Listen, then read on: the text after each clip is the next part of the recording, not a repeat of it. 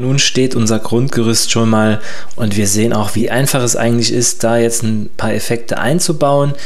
Ihr habt ja hier auch noch mehrere Bilder von mir, die könnt ihr auf jeden Fall ja benutzen, um zu üben und äh, ja, einfach auch selbst mal ein bisschen ausprobieren hier mit anderen Versionen und so weiter und so fort. Und ihr könnt natürlich auch selbst einfach rausgehen abends in der Stadt oder so und dann einfach manueller Fokus einstellen, die Schärfe komplett rausnehmen und dann könnt ihr solche Bilder machen und habt eben jede Menge eigener Effekte, die sonst so natürlich dann niemand hat.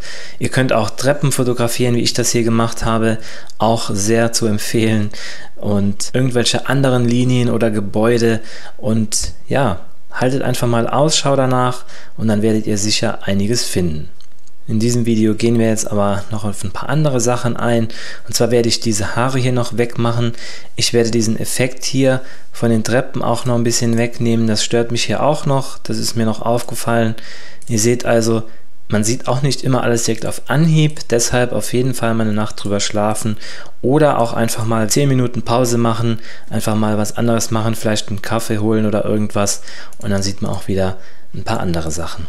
Und was wir dann auch noch in diesem Video machen, ist, dass wir hier so einen Effekt drüber legen, der dann das Ganze hier unten noch ein bisschen unschärfer macht und unser Bild noch ein bisschen im Look verstärkt.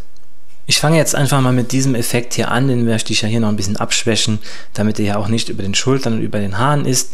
Und ich schaue auch mal, wo der Effekt sonst noch so ist, wo er nicht hingehört. Also blende ich mir den erstmal aus und schaue dann, zum Beispiel ist er hier auch unter der Hand noch, da möchte ich den auch nicht. Und hier am Arm vielleicht auch nicht unbedingt.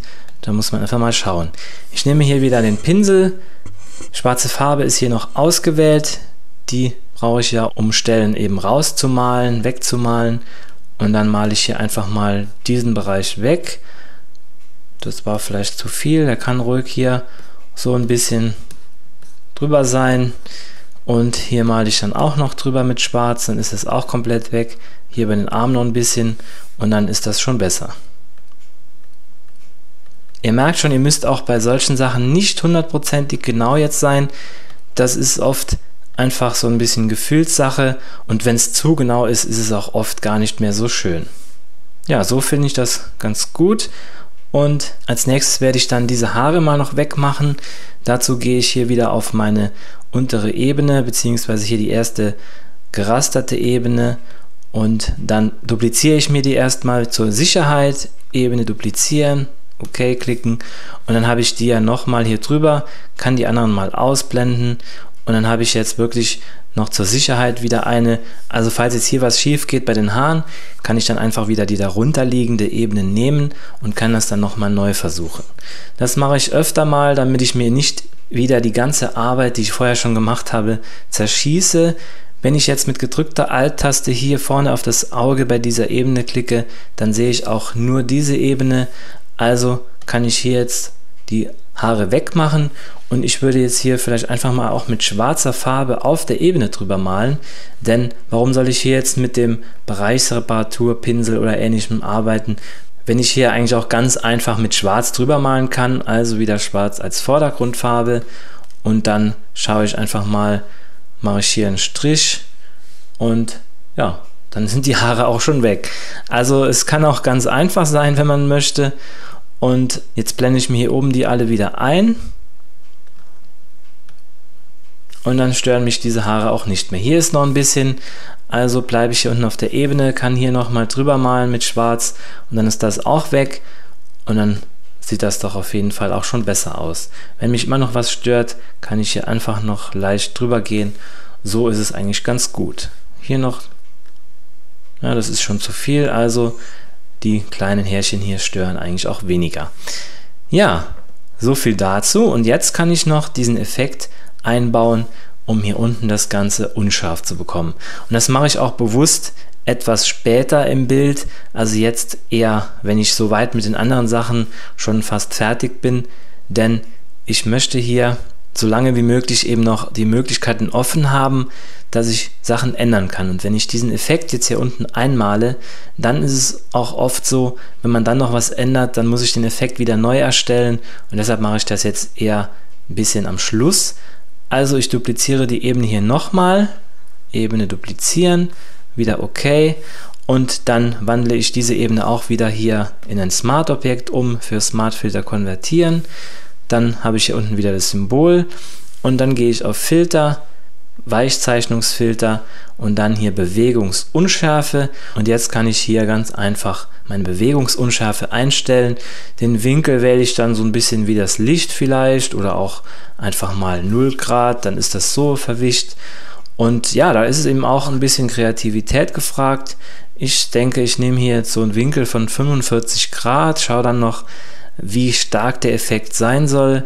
Das ist mir alles schon ein bisschen zu viel, also vielleicht hier mal so um die 40, 45 nehme ich einfach mal.